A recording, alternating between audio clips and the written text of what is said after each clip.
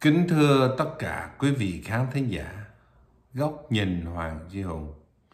Sáng thứ Sáu ngày 8 tháng 4 năm 2022 từ Houston, Texas. Thưa quý vị, trong clip 1660 số ra ngày 27 tháng 3 năm 2022, tôi đã nói về chính trị của nước Mỹ trong tối cao pháp viện của nước này. Trong bài đó tôi có nói về câu chuyện của thẩm phán Stephen Breyer là một vị thẩm phán đã lớn tuổi, tám mươi mấy tuổi rồi. Ông dự định về hưu trong mùa hè năm nay, năm 2022. Và Thượng viện của Mỹ tìm một người thay thế thì lúc đó tôi nói, họ dự trù sẽ bỏ phiếu cho bà thẩm phán ở tại tòa phúc thẩm số 2 là tòa phúc thẩm ở Washington DC bà Ketanji Brown Jackson, sinh năm 1970 ngày 14 tháng 9 tức là bà năm nay sẽ được 20 xin lỗi 52 tuổi bây giờ bà mới 51 tuổi thì họ dự trù bỏ phiếu cho bà lên làm thẩm phán, thay cho ông Stephen Breyer dự trù về hưu trong mùa hè năm nay. Trong clip 1660 tôi dự trù là bà Ketanji Brown sẽ được bỏ phiếu chuẩn nhận.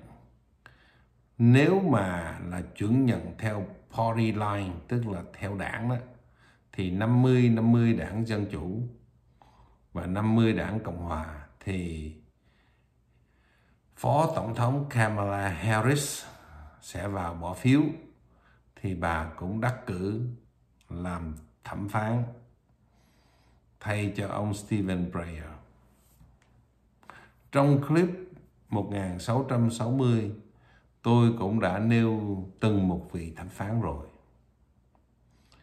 Nên hôm nay tôi không nói về tối cao pháp viện của nước Mỹ nữa, mà tôi chỉ nói việc bỏ phiếu chiều hôm qua ngày 7 tháng 4 về vấn đề chuẩn nhận cho bà Ketanji Brown Jackson như thế nào thôi. Thưa quý vị, hôm qua lúc bỏ phiếu thì như tôi đã dự trù là 50 đảng viên đảng Dân Chủ đều bỏ phiếu cho bà Ketanji Brown Jackson, chuẩn nhận bà lên thay thế cho tối cao pháp viện thẩm phán Stephen Breyer. Nhưng về phía đảng Cộng Hòa thì người đầu tiên là lúc nào cũng lá phiếu lên ngang là lá phiếu nó gọi là swing vote. Lật qua lật lại là bà Susan Collins ở tại tiểu bang Maine. Dầu rằng bà không ra tranh cử kỳ này, nhưng bà đã bỏ phiếu cho bà Ketanji Brown Jackson. Rồi người thứ hai là bà Lisa Murkowski là thuộc tiểu bang Alaska. Bà này cũng là một người lá phiếu lúc này lật qua phía này, lật qua phía nọ. Thì kỳ này, dầu bà không tranh cử, bà vẫn không tranh cử cho năm 2022 tháng 11 đó thưa quý vị. Nhưng bà vẫn bỏ phiếu cho bà Ketanji Brown Jackson. Và người thứ ba bỏ phiếu cho bà Ketanji Brown Jackson phía đảng Cộng Hòa là ông Mitt Romney ở tại tiểu bang Utah, là một tiểu bang màu đỏ đó, rất là cực hữu nhưng ông xoay qua, ông bỏ phiếu cho bà Ketanji Brown Jackson. Như vậy hôm qua lá phiếu tổng cộng là 53 trên 47. 53 trên 47 như vậy là đây là một chiến thắng lớn của đảng Dân Chủ vì đã kéo được ba thành viên của đảng Cộng Hòa cho họ. ba người này, thưa quý vị, trong ba người người thứ nhất là bà Lisa, bà xin lỗi, bà Susan Collins, thuộc ờ, tiểu bang Maine thì bà là mấy chục năm trời đã bị đảng Cộng Hòa không hài lòng, thì kỳ tới cuộc tranh cử của bà, đảng Cộng Hòa không hài lòng nữa và tấn công bà thì không có gì bà sợ cả. Vì tiểu bang Maine thì lại là đa số dân chủ khu vực của bà ở. Riêng bà Lisa Murkowski và ông Mitt Romney là hai tiểu bang màu đỏ thì từ đây tới ngày đó, đảng Cộng Hòa sẽ tấn công hai người này. Cho rằng họ là những người đi ngược ý muốn của đảng Cộng Hòa. Thì hai người này, nhất là ông Mitt Romney, đã từng là đối thủ của tổng thống, cựu tổng thống Donald Trump. Và ông đã từng là ứng cử viên của đảng Cộng Hòa vào năm 2012 ờ, từng là ứng cử viên đảng Cộng Hòa à, thì ông sẽ phải đối diện với nhiều chỉ trích của đảng Cộng Hòa Xin lỗi quý vị, ông đã từng ra ứng cử vào năm 2008 thì phải. À, tôi nhớ ra rồi, năm 2008, ông Mitt Romney có ra tranh cử, nhưng ông không có được đề cử. Khi ấy năm 2008, ông uh, John McCain được đề cử và ông đã kéo bà Sarah Palin ra làm phó cho ông cho ông ông John McCain ấy.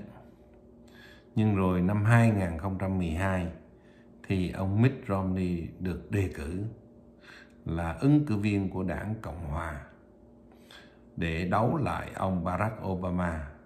Nhưng rồi ông vẫn thua. Thế sau đó năm 2016 ông ứng cử ông ra trở thành là thượng nghị sĩ của đảng Cộng Hòa ở tại Utah. Thì tôi xin đính chính lại một số chi tiết như vậy. Thế thì ông Mitt Romney, ông à, nói rằng là ông là bảo thủ, nhưng mà rõ ràng ông bỏ phiếu cho bà Ketanji Brown Jackson là một người rất là phóng khoáng trong vấn đề phá thai. À, là bà Ketanji Brown Jackson là gần giống như bà Hillary Clinton chấp nhận cho phá thai ở giai đoạn cuối luôn. Trong khi đó những vị thẩm phán khác như ông Brett Kavanaugh, bà uh, Amy uh, Coney Barrett thì lại là những vị thẩm phán không đồng ý vấn đề phá thai và ủng hộ cho luật của Texas vừa qua là hạn chế phá thai chỉ trong vòng 6 tuần khi mà thụ thai mà thôi. Nên đây là một đề tài nó khô khan nhưng nó lại quan trọng ở tại nước Mỹ. Thì trong những ngày tới, ba vị của đảng Cộng Hòa là bà Susan Collins chắc chắn sẽ bị tấn công, nhưng mà tấn công ít cho bà Susan Collins. Còn hai người nữa, đó là bà Lisa Murkowski ở tại Alaska và ông Mitt Romney, đại diện cho Utah, sẽ bị tấn công cách dữ dội bởi đảng Cộng Hòa vì hiện giờ, ở tại tối cao pháp viện có 5 vị thẩm phán là bảo thủ nhưng mà ông uh, tránh thẩm phán là ông John Roberts. Ông cũng ngã nghiêng cho nên người ta không có tin lắm. Và ngược lại bây giờ thì thêm một người mà lại là trẻ.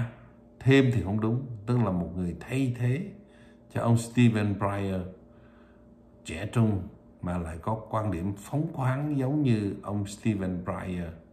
Vậy thì nước Mỹ sẽ là năm bảo thủ tức là bốn bốn bốn bốn bốn bảo thủ bốn cấp tiến và một người chính giữa. Nó cứ vậy mà nó nhảy qua nhảy lại. Và với những con người còn trẻ như bà Ketanji Brown Jackson mới 51 tuổi và bà Amy Coney Barrett cũng rất trẻ, 49 tuổi, thì cán cân này ở tại tối cao pháp viện của Mỹ, nó sẽ như thế không những là một vài năm tới, mà nó là vài chục năm tới. Nó là rất lâu, thưa quý vị. Đó là tôi xin thông tin đến quý khán thính giả, bà Ketanji Brown Jackson đã được chuẩn nhận làm thẩm phán của tối cao pháp viện. Bà đã được chuẩn nhận ngày hôm qua. Vậy thì bà sẽ nhậm chức vào khi nào? Bà sẽ nhậm chức khi trong mùa hè này. Mùa hè này của tướng Mỹ tức là khoảng tháng 6, tháng 7, tháng 8, 9 gì đó. Khi ông Stephen Breyer ông quyết định là ông dọn văn phòng của ông đi thì bà sẽ được thay thế. Đó là câu chuyện của nước Mỹ. Chân thành cảm ơn tất cả quý khán thính giả theo dõi và xin hẹn gặp quý vị trong chương trình sau.